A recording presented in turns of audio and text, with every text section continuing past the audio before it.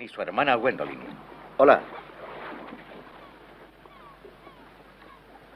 Su tía habla mucho de usted. Imagino que sin mucha consideración.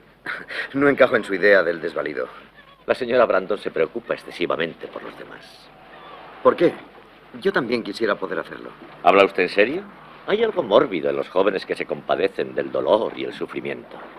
No le haga caso, Dorian. A Henry le gusta luchar contra los convencionalismos por sistema. De ese modo protege sus vicios. ¿Pero qué es un vicio? Simplemente placer sin vergüenza. Ya los tenemos aquí. Los epígramas de Oscar Wilde, mal editados por Henry Button. Basil, cenemos juntos. Los artistas se alimentan del aire.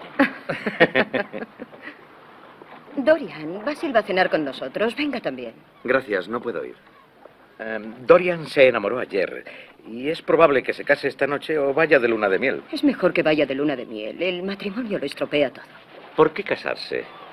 Los hombres se casan porque están cansados de la vida. Las mujeres por curiosidad, pero ambos se decepcionan. ¿Y el amor? ¿El amor? Con frecuencia se convierte en una batalla brutal por la posesión. Lo ideal es disfruta de todo sin poseer nada. Es difícil, Dorian, pero hay que intentarlo. ¿Una aceituna? Pero si ni siquiera sabes.